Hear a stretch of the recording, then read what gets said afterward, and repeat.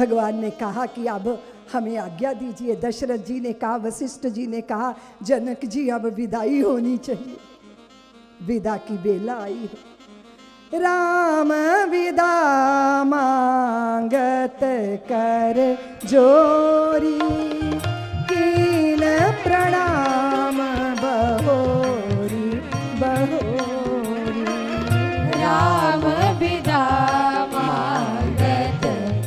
कर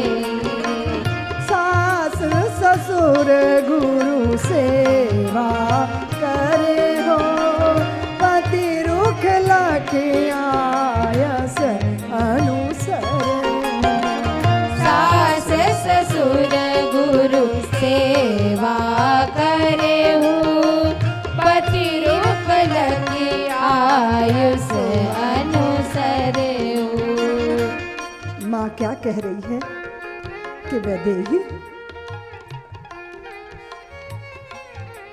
सास ससुर की सेवा करिए। गुरु यानी यानी श्रेष्ठ जो है, बड़े जो है, अग्रज जो है, उनका मान सम्मान रखिए। लेकिन पति के लिए क्या कहा? पति रुख लख। पति पत्नी के बीच में बोलने की ज़रूरत नहीं होती। वो क्या चाहते हैं? वैसा ही मन बना लो हाँ? अलकनंदा हो ना बहुत बड़ी हो। बहुत बड़ी हो। बड़ी विशाल हो। बड़े पाठ है अलकनंदा के।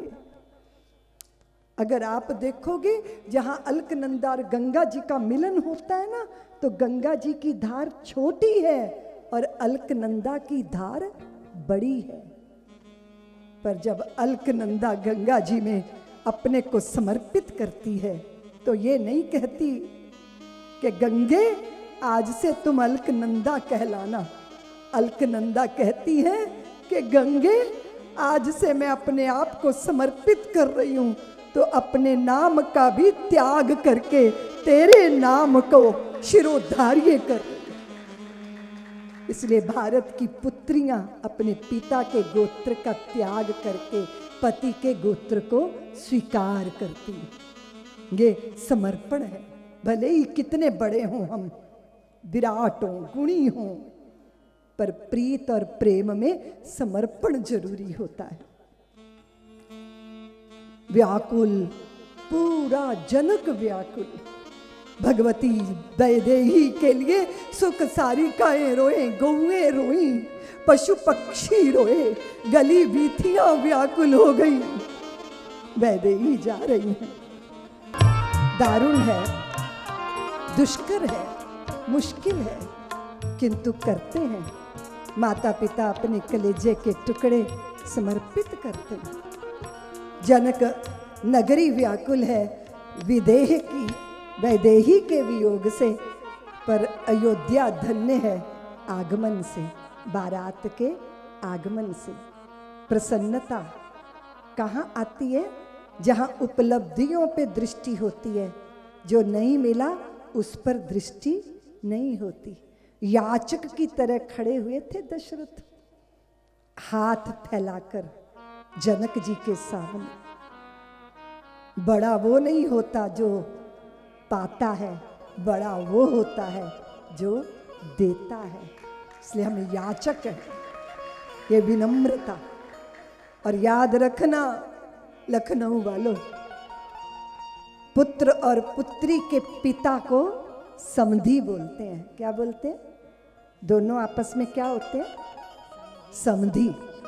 और धी कहते हैं बुद्धि को, समधि वो जिनकी बुद्धि का स्तर वैचारिक एक होता है, एक धरातल पर जो खड़े होते वो इतना बड़ा और ये हम पगड़ी रखें चरणों में बार बार भयभीत होते रहे, डरते रहे, ये संबंध नहीं है।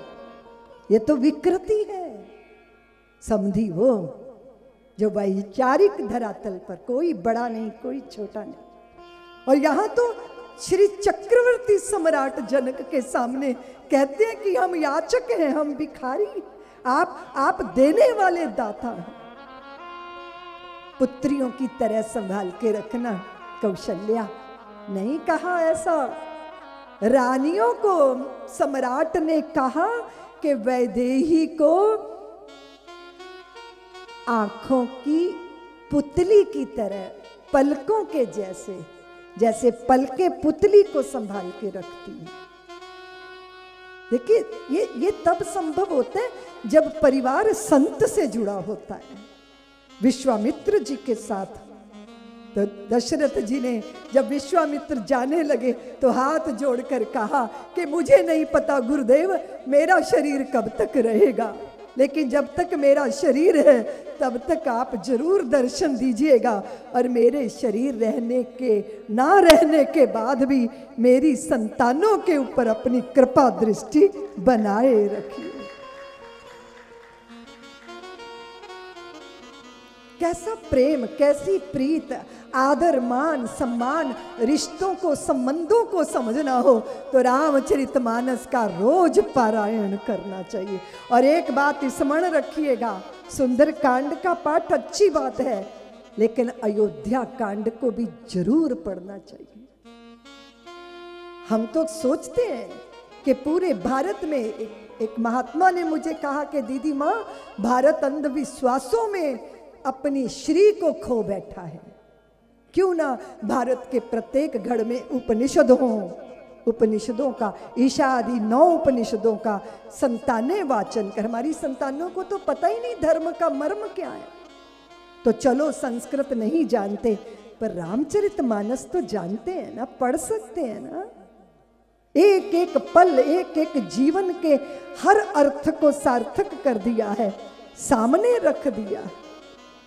विश्वामित्र चलन नित चाही, राम सप्रेम विनय बस रहे वो रोज कहते हैं गुरु जी आज हम जा रहे हैं तो राम जी चरण पकड़ लेते हैं, नहीं जाने देंगे। ये ये ये ये ये ये भावना है ना? सब्सक्राइब करें साध्वी रितंबरा जी के यूट्यूब चैनल को और हमारी वीडियोस को सबसे पहले देखने के लिए बेल आइकन को दबाना ना भूलें।